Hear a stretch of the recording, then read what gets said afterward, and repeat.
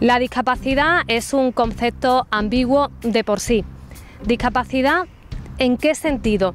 Todos tenemos más capacidad para hacer ciertas cosas y menos para otras. Se trata de aprovechar aquello que mejor se nos da.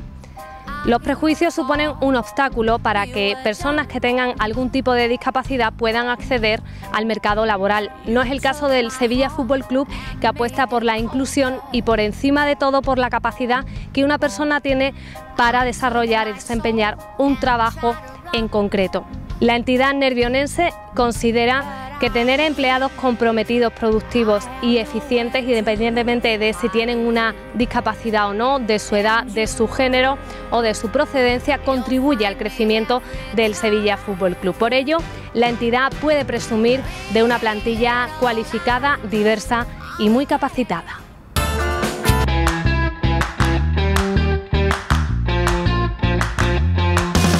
Eh, yo suelo llegar a las 7 y directamente me marcho a la lavandería, suelo coger todo lo que es ropa para técnicos, para las jugadoras y se va colocando todo en el vestuario para que cuando ellas lleguen lo tengan todo preparado. Yo soy Rocío Rodríguez, yo soy utillera del primer equipo femenino de Sevilla Fútbol Club.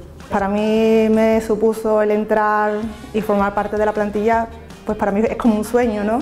Yo siendo sevillista desde pequeña, pues fue como un regalo caído del cielo. Lo que vamos recogiendo de aquí lo solemos llevar a vestuario, que es donde tengo el carro de, toda la ropa, y allí volvemos a hacer recuento de todo lo que es el vestuario y lo volvemos a llevar a la lavandería para que esté todo, todo listo para mañana.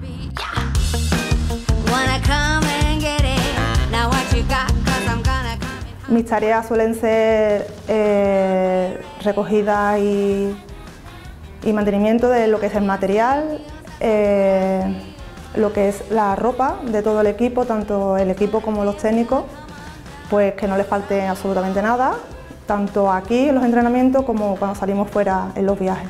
Pues yo me marcho, vamos a dejar ya lo que es el material en, en los almacenes y os espero ahora en la lavandería. Bueno, todo gusta todo un poco, pero sí que es verdad que cuando llega el momento del partido, pues se viven, se viven cosas muy, muy bonitas.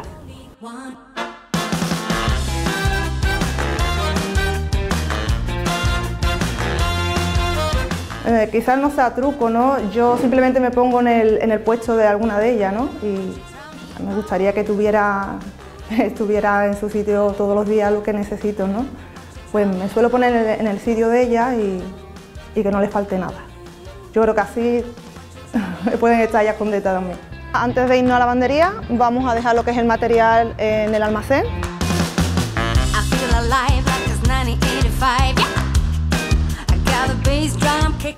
Quizás mensaje no, sobre todo el darle las gracias a boca llena porque yo la verdad que me encuentro muy a gusto y espero que ellos se encuentren a gusto también conmigo. Aquí volvemos a hacer recuento, que no se quede nada atrás. Lo volvemos a llevar a la lavandería para que mañana lo tengan todo limpio, ordenado y preparado para otro nuevo entreno.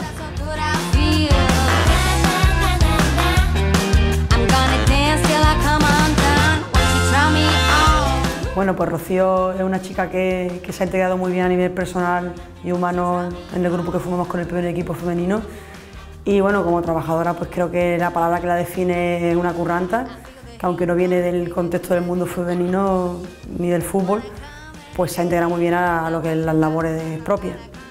una chica discreta en, ese puesto de trabajo eh, que tenga una buena comunicación con el cuerpo técnico, desempeña sus labores a la perfección y, bueno, eh, creo que tiene un perfil muy bueno para los que conocen el mundo del fútbol y para realizar el trabajo que realiza. Entonces pues entendimos que, que era la persona que necesitábamos y, por eso la confianza que hemos tenido en ella.